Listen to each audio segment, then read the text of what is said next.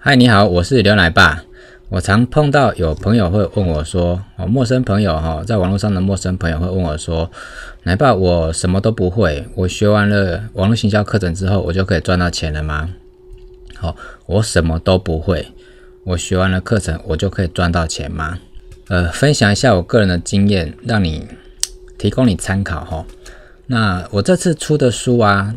可能下个月会出吧，因为是由疾风出版社他们邀请我来写这本书。那这本书里面呢，有介绍以前我在网络创业的过程。那我觉得蛮不错的，可以分享这个 这些经验，让大家知道我当初也跟你有一样的问题，我什么都不会。那事实上并不是你什么都不会，而是你没有去发掘你到底会什么。好，那这本书呢？呃，我简单给各位看一下哈，因为还没有印刷哈，目前还在，呃，还还没有出版，目前正在校稿印刷中哈。那很感谢哈，推荐序有呃郑景聪郑老师哈，他是网络行销业界蛮蛮资深的哈，非常资深的一位网络行销老师，然后他有帮我写写推荐序，然后还有弘扬金流的老板哈。黄大哥，哈，盛如大哥，哈，执行总监也帮我写推荐序。那很感谢呢，哎，我们的吴顾问吴正宏顾问，群英气管公司董事长吴吴顾问，哈，他也是我的老师，哈。那同时呢，他也是我的学学生，好，我们互相彼此教学相长。他还帮我写推荐序。还有鼎鼎大名的亚洲八大名师陈志明陈博士，好，帮我写推荐序，非常感谢他。然后还有一位，哎，也是鼎鼎大名的阿宝哥，阿宝哥，沈宝仁，好，阿宝哥帮我写推荐序，哈，真的非常感谢。那我里面呢有写了第一章是网络创业的缘起，哈，那里面这段故事呢，我大概让各位了解一下，哈，我当初在电脑公司上班，哈，有，其实我换过很多份工作，超过八份工作。啊因为我一直在找不到自己的主要强项是什么，我不晓得自己到底要做什么，所以我换了八份工作，换了，可能有人比我多啦，可能有人一辈子可能只做一份工作，不过我觉得我换了八份工作是在很短的时间之内，可能呃三四年之内啊就换了八份工作，所以一直找不到自己要的。那有一间公司我印象特别深刻，也就是在这边这间公司呢，这一篇故事啊，我讲解给你听哦。我那个时候就打电话陌生开发，然后卖软体当业务，因为我那时候觉得说，如果我要赚到第一桶金的话，光是当一个内勤人员很难哦，因为固定薪水就三万多块，很难赚到我的第一桶金哦。我们讲说第一个一百万哦，那很困难嘛，所以那时候我就跑去当业务哦。那业务呢，每天都要陌生开发四十通啊，或者是八头八十通电话陌生开发客户。然后我那时候呢，呃，每次嘟嘟嘟，然后打过去电话呢，我是某某电脑公司，请问贵公司有没有进销存或 ERP 软体的需求啊？然后对方就讲，啊，不需要，挂掉。哦，哇，一阵心灰意冷的情绪又浮上心头。在二零零一年结了婚之后，我从台北万华搬到桃园来定居，因为当时桃园的房价比较低，想要买圆一个买房的美梦。为了多赚点钱呢，我就努力克服自己内向的性格，选了一份推广 ERP 软体的业务工作。听说业务才能够赚大钱，希望能够借此快速的累积自己的第一桶金，所以呢，我选了一家蛮大的软体上市公司来展开我的业务生涯。无奈每天拨打陌生开发电话，却一通一通被挂电话，不是被总机小姐直接过滤掉，就是被当事人用唾弃的口吻批评的伤痕累累。有好几次让我印象深刻，接电话的人告诉我说：“你们公司的人到底要打几次啊？你已经是第三个人了，不要再烦我了好吗？”可是主管规定一天要打八十通电话，我已经打到手软了，内心又充满被客户拒绝的恐惧，感觉话筒有千斤重，自信心荡然无存。每天上班成了我最想逃避的痛苦，情绪已经快要爆炸了。唯一能够舒缓我情绪的方式就是写日记。于是呢，我把每天的工作心情就写在我的 Outlook 软体哈，然后每天写信给自己。因为这件事情呢，是发生在二零零二年，就是我结完婚的。第二年哈，所以那个时候我们都用 Outlook 软体在收发电子邮件那时候还没有 Gmail。那有一天呢，我灵机一动，拨了一通电话，哦，陌生电话。为了怕被对方的总机小姐给挡掉，于是我就说：“你好，我是某某电脑公司，因为贵公司资讯部呢有在本公司的网站上填写询问单，请帮我转接资讯部门，我要回答相关的问题。”这个时候呢，总机小姐就不由他啦，她就可以帮我转接到资讯部。不管资讯部是谁接电话，我就会说。你好，我是某某电脑公司啊。近日举办软体赠奖的活动，我们随机抽取得奖的客户。这次赠送的软体是某某软体哦。我们要用 email 的方式寄送给你，能否提供你的 email 给我呢？好，当时呢已经很习惯上网找一些免费、好用又合法的软体来协助我的工作哦。而在大部分状况下呢，有百分之九十的客户他就会留下 email。接着呢。我就会把之前在网站上找到的免费软体寄给对方当成赠品，并且在信件的尾端加上我的签名档和一张我的个人照片。第一封寄出的 email 信件是为了让客户先拿到赠品，对我有一个好印象。接着呢，看到我的签名档，签名档上面写上了我公司的名称还有网址哦，就是为了让他了解我的产业还有提供的服务项目是什么。那个人照片呢？我是为了让他对我印象深刻，将来去拜访的时候呢，就可以知道我的长相。接着第二天开始，下班之前，我就会把自己当天的工作心情日记寄给所有收集来的 email。当然，信尾一定都会附照片签名档。从此之后，陌生开发电话就不容易被拒绝，因为我都是在送赠品，而不是在做推销。两个礼拜之后，有一个陌生客户吴先生打电话来，指明要找我。请我过去帮他们介绍一下我们公司卖的 ERP 软体。于是第一次到府拜访就这样发生了。当天呢，协同主管一起去说明。到了公司的时候，发生一件很有趣的事情。在客户公司的大厅，吴先生走了下来，一眼就认出我的脸，很客气的跟我说：“刘先生你好，很高兴见到你。你的心情日记我每天都有看，好有趣哦，请跟我到楼上会议室。”这个时候呢，我的主管一脸惊讶，在我耳边问了一句。你跟他很熟吗？我就回答没有，今天第一次见面。哦，我们主管露出一点错愕、惊讶的表情。从那个时候开始呢，我发生了，我发现一件事情，非常的兴奋。我终于了解，开发陌生客户的方法不只有一种。公司教我们每天打推销电话，打一百通，可能就会有一通可以去拜访客户的几率。但是对我来说，这不仅大大提高了业务员阵亡的几率，也引起许多客户的反感。日后一听到某某公司打的电话，就被列为拒绝往来户。好，这个就是我当初，好，我当初了哈。老实讲，这是书的一一部分内容了哈。那其他的部分呢，还有很多蛮有趣的哈。我当初创业的一些经过。我希望书书籍在出版的时候对你会有蛮大的帮助，你可以去买来看哦，多支持买来看一下，一定对你很有很大的帮助。如果你目前呃面临我当初的那种心情的时候，我真的不晓得要做什么，那你看完这本书，你一定会有想法哦。那我要跟你讲，就是我当初因为这个这个行为这个动作，才引发我觉得做业务不一定要靠上面的人教。哦，做业务不一定要靠上面的人教，当然，如果上面的人有教你正确的方法，那非常好，就是跟别人沟通的过程，哦，跟别人沟通怎么样做 sale，怎么销售的动作，沟通的方法，那不，但是开发的动作哈，你可以从网络上来做，哦，那我当初呢发现 email 就是一个跟客户沟通的好工具，为什么呢？我那时候收集到的 email 可能有好几百个，那我一次发信出去就有好几百个人同时收信。那在那个年代，二零零二年的时候，垃圾邮件不多，所以 email 的开信率非常的高，哈，非常的高。而且我大部分都是寄到他们的公司信箱，哦，因为他们那时候陌生开发都去打去，都是打去公司嘛，那他们都是用公司的 email 给我，所以我寄到他们公司去，只要他没有离职的话。大部分他们都会开信，哦，因为是公司的电子邮件，一定要开，一定要看。所以我每天写一封短短的信，大概两百三百个字，一个一点点心情日记，再附上我的照片，就是一种跟大量的客户沟通的方式。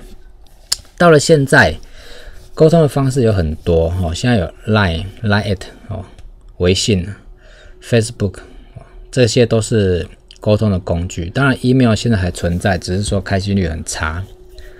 那我们要去想一件事情啊，网络行销这些工具很好用，因为它都是与客户之间沟通的工具。那你要把它用来做开发，那你就要有方法。像我刚刚的开发方式也是很笨嘛。那那个时候那个年代，我也是一通一通打电话去，然后跟对方要 email 啊。但是重点，我是赠送赠品给对方，所以我要得到 email。那反观现在呢，其实你不用不需要那么辛苦，一通通去打电话。现在你可以去打广告，而不是打电话。啊，同样付出一点成本。你就可以得到很多人来看你的销售文案页哦，或者是加入你的名单，呃，提供 email 给你，或者是提供 line 给你哦，你就可以利用 line 的群发方式，或是 email 的群发方式，然后渐渐的跟客户沟通。如果你什么都不会哦，你觉得你自己什么都不会，我希望你看完这本书之后，你有很很深的领悟。就好像我以前找不到自己的方向，其实我并不是什么都不会。哦，我相信你活那么大的，你绝对不可能什么都不会，而是你没有找到你想做什么，你没有找到你想做什么。那我在网络行销课程懒人包系列里面呢，我主要是教网络行销懒人包里面有怎么样去架设你的网站，怎么样去做会员机制，怎么样用脸书打广告。怎么样去收集你的精准客户名单？怎么样利用工具跟客户沟通？怎么样利用 LINE 这个工具跟客户沟通？然后让客户直接在线上刷卡收取账款，付费给你。那你要跟客户沟通的工具有很多种，比如说你可以用文字，可以用网站的图片，图文并茂。里面呢最好再加加上影片，所以。懒人包的影片行销里面这个单元呢，这个第二套课程是影片行销懒人包，里面就是包含影片的制作和剪辑技巧，然后影片行销怎么做哈，影片怎么去锁码，不要让客户随便就传给别人看哦，一定要付费会员才能看，用简单的方法 PowerPoint 也能做影片，或者是你要录手机人像也可以，你要录精美精致的。影片用单眼相机也有教。好，我们讲一个人出生的时候，他其实什么都不懂，但是呢，他慢慢学习，会站立，会讲话，开始懂得用嘴巴语言去要求父母得到他想要的东西，这都是在行销他自己。但是当他什么都不会的时候，他其实不懂得怎么表达。他只会用行为、用哭闹的方式。今天，如果你什么都没有学，什么都不会，你说我就要赚到别人的钱，这是有困难的。所以，如果你什么都不会，你可以先学习，学完之后，你才能够融会贯通。你要一段学习的时间，因为你的起步比别人晚。有的人可能他年轻的时候不懂事，爱玩，所以可能。国中毕业就不念书了，我去工作。那有些人他并不是学历不高，就书就读得少，不一定哦。你看王永庆，他小学毕业，事业可以做那么好，你以为他书念得很少吗？当然不是啊，他是自修很多啊，只是因为他小学毕业的这段学历是比较早之前的事情，很多人就觉得，哎呀，我不用念太多书，我将来也可以出人头地。不是这回事哈，学历跟你你的知识没什么关系哦。你的知识是可以后来去大量学习、大量阅读，那是你后天的努力，跟你的学历一点关系都没有。所以不要被误导了哦，不要以为比尔盖茨大学大学辍学就可以变成世界首富哦，呃，那个那个顺序要搞清楚。所以呢，如果你真的没什么一技之长，你上完这些课，我相信你有更多启发哈。那当然，我也会辅导你这些工具到底你能够做什么事情。好，那目前你看到我的这个课程，我以前也是一点一滴把它累积起来哈。十几年前开始学电脑，然后慢慢累积很多专业知识，我才慢慢觉得，哎，我可以卖一些软体的教学，甚至我可以去卖软体。所以我以前其实是在卖软体。那你如果学了这些东西，你就可以跟我做一样的事情，你可以去激发你自己的潜能，找到你自己的强项，然后把它转换成教教材。你只要懒人包、网络型要懒人包跟影片形象懒人包这两套其实就够了，你就可以跟我做一样的事情，用一样的平台去卖你的知识，赚到你应有的收入。我们在十月二十号开始，哈，这边我要取得最低优惠价。我们在十月二十号开始，哦，我会贩售五天，我要招收三十个人，哦，三十个人，这三十个人呢是。终身会员哦，我们的网络行销懒人包是两万九千八百块，再加上影片行销懒人包是两万五千块预购，因为影片行销懒人包目前正在制作，明年一月一号的时候会正式贩售，所以两套加起来价格是五万四千八百块。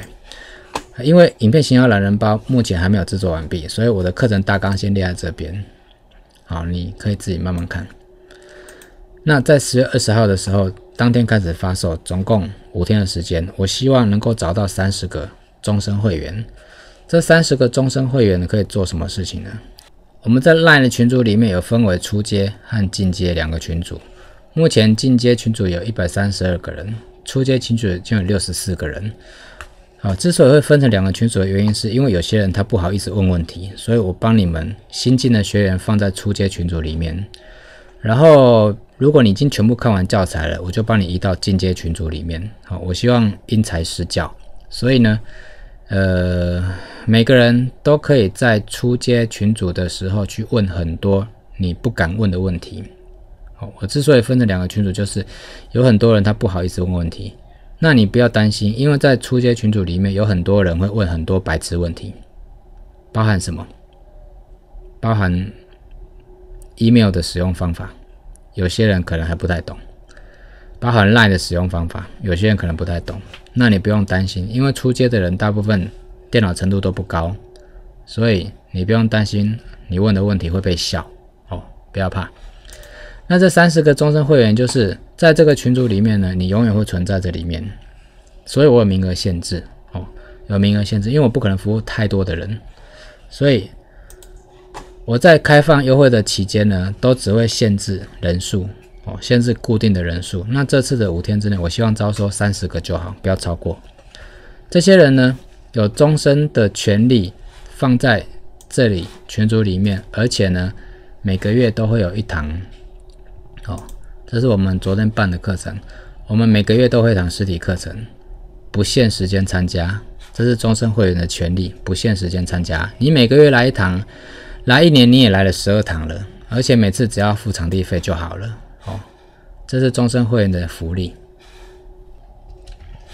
而且呢，五万四千八百块，在这段时间里面，这五天时间里面只卖三万八千块，而且还分三十期零利率，等于你一天只要花四十二块钱，少喝一杯饮料、咖啡，改变你的一生。距离开卖日期还剩下三天啊！距离开卖日期还剩下三天，现在没办法，现在没有办法购买啊！现在没办法购买啊！你看，现在又有人在问问题了，所以如果你是群主会员的话，你随时可以提问哦。那一天花四十二块钱，我相信每个人的经济能力都可以负担哦。你不要告诉我说好贵，一天四十二块好贵，我觉得不太可能哦，不太可能。如果你真的想改变你自己的话，一天花四十二块钱，我觉得你一定付得起，哦，一定付得起。三十期的零利率呢，包含的银行包括玉山、凯基二四期，其他是玉山、台新、澳银、一银、台气、渣打、永丰、中信。如果你没有这些银行的信用卡的话，你就赖私讯告诉我，哦，我再帮你想办法，好不好？但是你要有信用卡，如果你没有信用卡的话，我很难帮你解决。好。那这是我们这次的发售方案，哦，希望你把握机会。